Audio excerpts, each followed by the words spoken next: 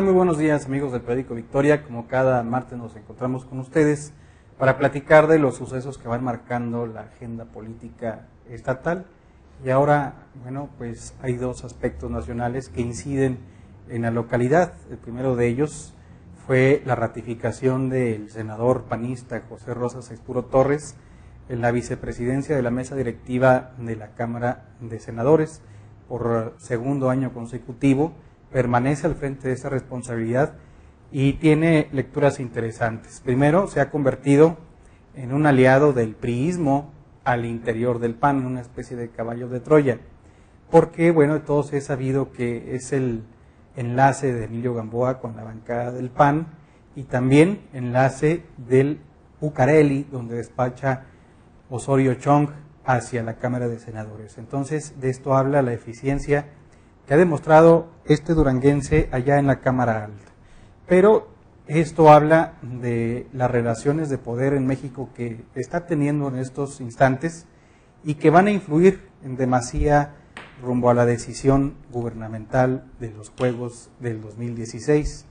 Así que a vista de muchos se encuentra posicionado a nivel nacional para la elección gubernamental que iniciará dentro de un año, una vez que ya estén terminando los, la elección federal intermedia en 2015, se desatarán los juegos de la sucesión gubernamental.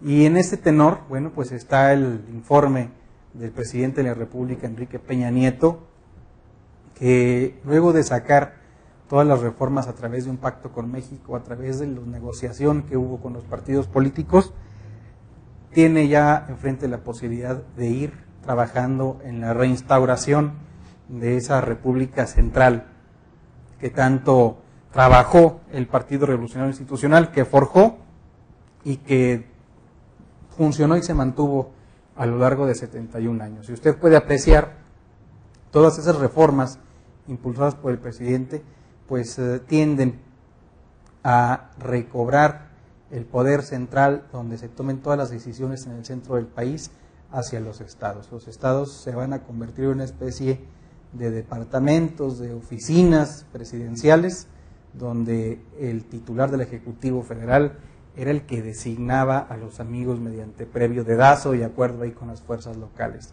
Así que en esta coyuntura es en donde debemos estar muy atentos. Y el 2015, pues se va a ver cómo el presidente va mandando mensajes por dónde va a ir la decisión política al momento que conforme las listas de candidatos a diputados y diputadas federales por la, por la paridad de género deben de ser 150 y 150, hombres y mujeres y la fórmula del mismo género.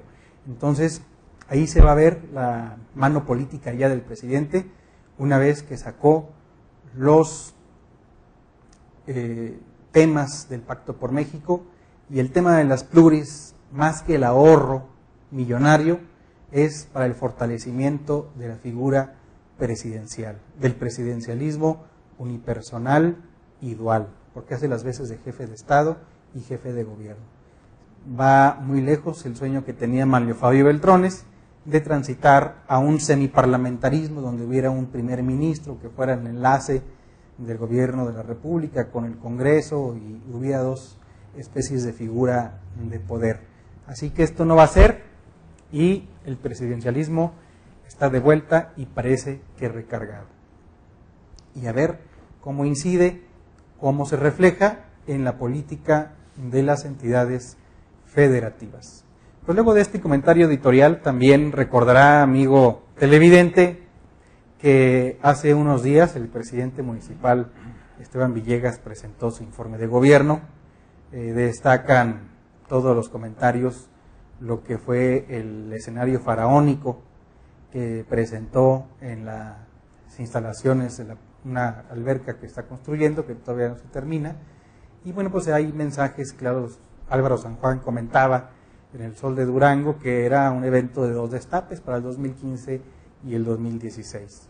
Pero hablando de la administración municipal, hay rubros que se tienen que destacar, el tema del emprendimiento con Eleazar Gamboa, la gobernabilidad de la Secretaría de Ayuntamiento. Hay áreas delicadas y una de esas que siempre está en los ojos del municipio atentos, además de la seguridad pública, es con el tema de, los inspectores, de la inspección en cuanto a, las bebidas embriagantes, los giros negros, el comercio informal, muchas cosas que recaen en esta otrora coordinación que recientemente se convierte en dirección y que encabeza el licenciado Juan Rafael Rosales Ida, que hoy nos acompaña y queremos pues que nos platique cómo le fue en este año, donde prácticamente se estrena una dirección municipal más dentro de esta administración, cómo le ha ido, si tiene más presupuesto, más personal, ahora que se eleva de, se elevó de coordinación a dirección, que no dependía, depende ya de la, Secretaría del Ayuntamiento como anteriormente así era el organigrama de la Administración Pública Municipal. Así que, bueno, pues vamos a platicar con él esta mañana y ya sabe que estamos aquí a las órdenes a través de las redes sociales del periódico Victoria de Durango. ¿Cómo está, licenciado? Estimado amigo, bienvenido. Un buen día, gusto saludarle. Gracias, muy amable. Pues platicábamos, eh, les comentaba aquí a los amigos de Victoria TV de que la coordinación de inspectores se convierte en dirección. ¿Qué beneficios ha traído? ¿Sigue igual? ¿Todavía no se acopla? ¿Y cómo le ha ido en este año de administración? Comentar lo siguiente, con mucho gusto. Gracias por su invitación. Agradecemos nos den estos espacios para, por medio del mismo, pues dar un reflejo de lo que la, ahora la Dirección Municipal de Inspección lleva a cabo. Y a ello debo decirle que nosotros, los inspectores municipales, realmente tuvimos un, un año de muchísimo trabajo, de un gran esfuerzo, de una gran dedicación. Debo de comentarle que en este primer año de, gobierno, y, todos nosotros, bajo la muy respetable orden del señor presidente municipal, el doctor Esteban Villegas, eh, estuvimos trabajando, como lo he mencionado, de una manera sumamente entregada. Es así que se levantaron más de 12 mil actas 12.000 actas debidamente circunstanciadas, todas ellas apegadas a la reglamentación correspondiente y puestas a disposición de manera oportuna de la autoridad competente, en este caso del juzgado administrativo. La entrega de todos y cada uno de mis compañeros, de la cual estoy sumamente orgulloso, de todos ellos, de todo el personal que ahí estamos trabajando, pues queda plenamente comprobado el profesionalismo, la capacidad, esa entrega laboral a la cual he venido haciendo alusión. Y de esto, como lo he mencionado, me siento sumamente orgulloso, pues eh, estamos como responsables de, este tema y laboral. Para esto, pues bueno, hay algunos giros, como usted lo ha mencionado, que, no son fáciles eh, en la vida laboral. Si hablamos del clandestinaje y si hablamos de algunos otros giros, como bien lo mencionó. Pero a, lo largo de la charla iremos comentando al respecto. Eh, ahora que nosotros somos una dirección municipal de inspección, Después de 15 años de haberse conformado esa coordinación general de inspección, este, y que trabajaba con un orden de 50 inspectores municipales, seguimos trabajando prácticamente con el mismo número. ¿Por qué esto? Bueno, obedece a, situaciones meramente administrativas y presupuestales, que estamos está ejerciendo una presupuestación del 2013, lo cual eh, con anterioridad ya estaba debidamente esto conformado. Una vez que nosotros hagamos la presupuestación y conforme a los, eh, a los techos presupuestales que se nos deberán de marcar, haremos eh, las peticiones necesarias para poder desempeñarnos meramente como la dirección que, que, esto se va a llevar a cabo y que gracias a, la atinada eh, disposición del señor presidente y de su equipo, entre ellos el señor secretario, el ingeniero Aragón, quien agradecemos mucho a ambos de que esta coordinación ahora sea dirección. Eh, lo iremos comentando, pero en, este tenor debo de comentarle que estamos trabajando todavía igual, como lo éramos una coordinación. Eh, se está llevando a cabo toda la conformación legal para pronto empezar a trabajar meramente como lo es una dirección. Así es, licenciado. Pues no solamente los inspectores eh, se les carga la chamba en el tema del clandestinaje, vemos también, por ejemplo, que fiestas ruidosas, que fiestas clandestinas ahora que está de moda, eh, el comercio informal. Eh, ¿Cómo van con estos nuevos fenómenos que están apareciendo? Es muy amplio el trabajo de nosotros los inspectores en base a la ejecución que debemos de llevar a cabo y estar eh, velando por muchísimos de los reglamentos que conocemos. Usted lo ha mencionado, entre ellos hay, hay temas diversos. Vamos a hablar de las fiestas eh, que de una u otra manera, pues eh, la sociedad duranguense lleva ¿Cuáles a cabo. son las fiestas clandestinas? Mire, ¿O cómo las es- catalogan? estas fiestas clandestinas, bueno, clandestino es aquello que no goza con un per- el permiso correspondiente de una autoridad. Y muchas de las fiestas, trátese por, y lo digo con un gran respeto, por la, pues por la no cultura que todos debemos de tener en, en este sentido, eh, de no sacar los permisos correspondientes, ¿verdad? Eh, hay muchos eh, lugares aquí en Durango, no menciono los mismos por, por respeto a ello y a sus familias, pero pareciera que pues estamos acostumbrados a llevar a cabo las fiestas hasta altas horas de la noche sin tomar en cuenta pues también la tranquilidad y la privacidad que requieren los vecinos. Y esto de una u otra manera pues viene a traer cierta alteración del orden público. ¿Por qué? Porque pareciera que esto es una costumbre que si no caben al interior de, de un domicilio, la fiesta prácticamente se lleva en la vía pública. Y, y, pues son detalles que nosotros las autoridades debidamente coordinadas como lo estamos con seguridad pública municipal, con el juzgado administrativo, entre otras, según sea el caso, pues participamos de esa manera conjunta y operamos según sea el caso. Así es. ¿Y cuántas eh, fiestas han detectado a lo largo de este año?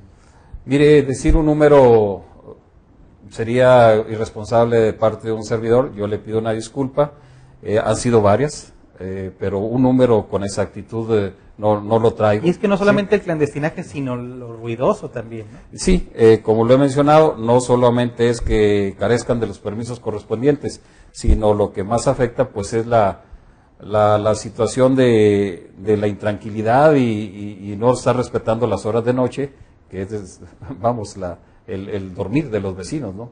Eh, e- esa situación de alteración pues nos trae a nosotros los inspectores mucho trabajo, acudimos a ellos, los exhortamos a que, a que en primer lugar, si no gozan con los permisos, pues aquella fiesta no se debe llevar a cabo. Si gozan con los permisos, bueno, tiene que haber una moderación en el sonido. Y, y en base a este, a esta dinámica laboral es como tratamos de poner ese orden. Cuando somos rebasados en ese sentido, también debo decirlo, tenemos todo el apoyo de seguridad pública, como siempre lo hemos estado teniendo, y, y bueno, nos vemos de, de la manera obligada de participar de una manera conjunta. El criterio que se usa, licenciado, ante los eh, vendedores ambulantes, ya cada vez pues están vendiendo fruterías ambulantes prácticamente en los cruceros.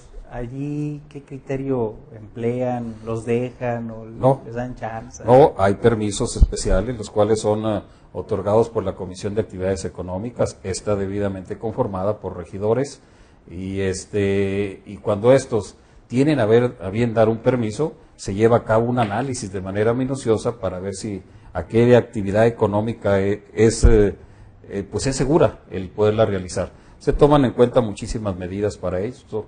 Por ejemplo, no deben de estar ese tipo de actividades económicas en las vías rápidas de nuestra ciudad. Ya hay mucho tráfico en la misma, debemos de reconocerlo, y por seguridad de quienes la desempeñan y quienes acuden a cualquier compra ante ese puestecito, digámoslo así, este, pues no, no deben de estar si hay alguna, alguna situación de inseguridad. Hay muchísimos, como usted lo ha mencionado, tenemos que reconocerlo, pero todos ellos lo correcto es que estén con los permisos correspondientes otorgados por la Comisión de Actividades Económicas. Aquellos que no lo tienen, bueno, es donde nosotros nos vemos en la necesidad de, de operar, en la necesidad de, de ejecutar según sea eh, la reglamentación y el caso que, pueda, que, que aquello pueda ocupar. El clandestinaje, licenciado, de la venta de, de alcohol, ¿considera usted que terminará con la discusión, el debate que hay en estos momentos de ampliar o no el horario de la venta de bebidas embriagantes, de dejarlo 24 horas? Bueno, yo soy de la idea y por experiencia laboral en esta área y en otras que he estado como servidor público, considero que no es, eh, no es lo prudente la ampliación de un horario. Lo correcto sería, lo he venido mencionando, es una situación propia de cultura. es una situación que nosotros, la sociedad duranguense, debemos de tener muy en claro. Este, no creo que sea la solución, definitivamente lo digo, el que se amplíen los horarios. Así es, mejor, pero no hay cultura aparte, no hay campañas, Eh, no hay nada. Bueno, ahí somos muy respetuosos de, de su opinión y de otras muchas que existen. Eh, hay algunas campañas, hay, hay muchos proyectos en ese sentido, pero aún así nosotros, la sociedad, eh, pues prestamos oídos sordos y pareciera que no vemos lo, lo positivo que todos esos programas encierran. No hacemos caso muchas de las veces a eso. Y aparte ese clandestinaje, bueno, pues es competencia del Ministerio Público. ¿no? Usted lo ha mencionado, es una figura que se encuentra perfectamente Y en bien cambio se lo en un código a los penal. inspectores, ¿no? Eh, en cuanto a nosotros los inspectores municipales, debemos de reconocerlo, se sigue estableciendo en la reglamentación, ¿sí? es como una falta administrativa, pero hoy día es una conducta antisocial, la cual se encuentra, lo hemos mencionado, debidamente sentada en un código penal. Para ello, pues tienen que existir las denuncias correspondientes y proceder la autoridad competente. Así es. Licenciado, ¿qué sigue para este segundo ejercicio de la Administración Pública Municipal a la dirección que usted encabeza? En primer lugar, seguir trabajando, eh, hacerlo con un gran énfasis, con una gran entrega, como lo hemos venido demostrando este primer año de, la administración. Eh, en ese número de actas, bueno, nos habla de, la, de esa entrega de todos y cada uno de mis compañeros, lo cual agradezco y los cuales, a, lo- a los cuales los felicito por esa disposición. Y nuestro compromiso no es otro más que el de seguir trabajando el de seguir eh, llevando a cabo nuestra actuación laboral en base a lo que la reglamentación así nos lo marca. Siempre amparados bajo un marco legal, siempre amparados bajo una situación propia, también, por qué no decirlo, de humanidad. Hay muchos detalles en que nosotros los inspectores pareciera que la sociedad quiere verlo en algunas ocasiones pues, de una manera indebida. Yo suplicaría de la manera más atenta y con el gran respeto que merecen, simple y sencillamente les digo, estamos haciendo el trabajo que nos compete. Es un trabajo debidamente asentado en una legislación municipal y lo estamos llevando a cabo. ¿Alguien tiene que hacerlo? Bueno, compete inspectores municipales y lo estamos realizando. Pero no obstante a ello, también existe un sentido común, existe un criterio, existe una situación propia de humanidad. Promedio semanalmente, ¿cuántas actas levanta? Eh, estamos levantando entre 250 y 300 actas eh, semanalmente. Y lo que más abunda, ¿qué es? Bueno, abundan muchos de los temas, eh, si hablamos de, de las diferentes actividades económicas en vía pública, eh, ¿por qué no decirlo? Y ojalá vaya cambiando esta costumbre, esta forma de desempeñarse, de manera muy en especial aquellos establecimientos o aquellos lugarcitos donde venden comida, cualquiera de sus formas y presentaciones que ésta sea, pues que debemos de cumplir con la, lo que el reglamento de salud nos marca. Eh, hay muchos de ellos, levantamos muchas actas en aquellas personas que desafortunadamente por una u otra razón no están dando cumplimiento.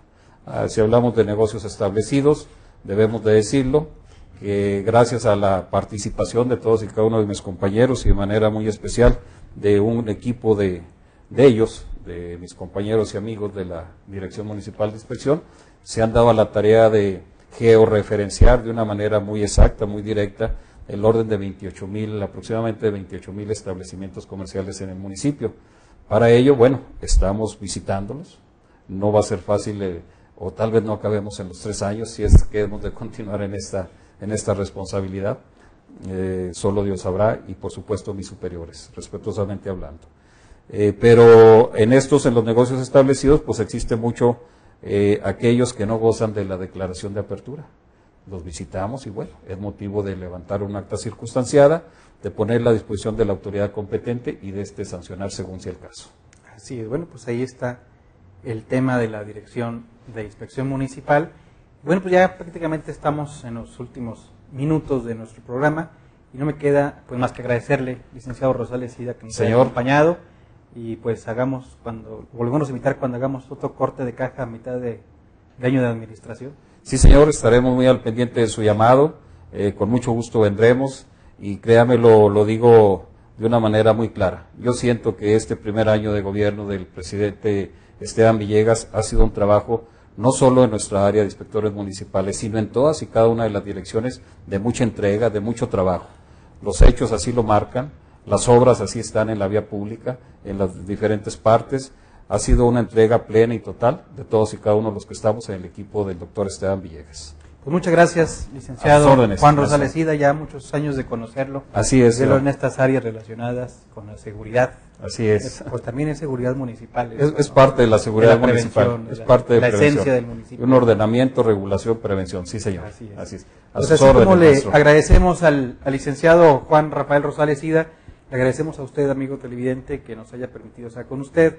El programa se repite a las 8 de la noche en la página aquí del periódico y posteriormente se sube al canal de YouTube, que faltan algunos de subir, ojalá nos hagan ese inmenso favor aquí los compañeros de cabina.